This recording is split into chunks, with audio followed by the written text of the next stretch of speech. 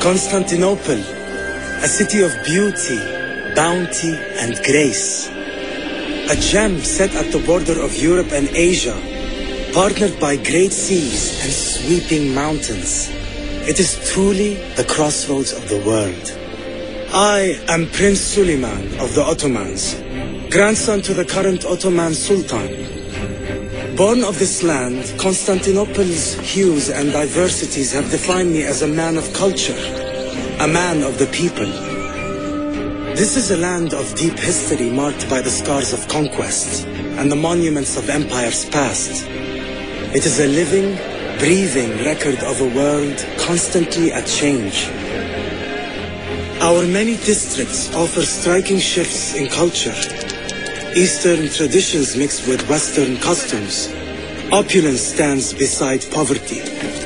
And here in the markets, where races, creeds, and ranks intermingle, one finds a mosaic unlike any other in the world. Yet, as with any precious gem, there are many who wish to claim it as their own. Constantinople is conflicted by a struggle for power and control. For generations, my people warred against the Byzantine army until we conquered them and delivered this land into a golden age. To this day, a rebellious faction fights to restore their dead empire. We do not know the source of this uprising, but it must be destroyed. Violence has eroded the edges of the city, and for many, life has become fraught with peril. You are worse than the Byzantines! Ah! My people have no choice but to fight in their own defense.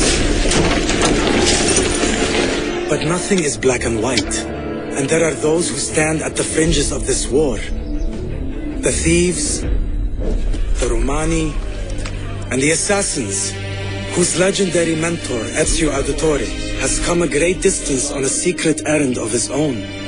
But he may prove to be a useful ally. With every passing day, the Byzantine threat grows. Their defeat must be swift and final. I will do everything in my power to see peace return to Constantinople, so that it may flourish and prosper for ages to come.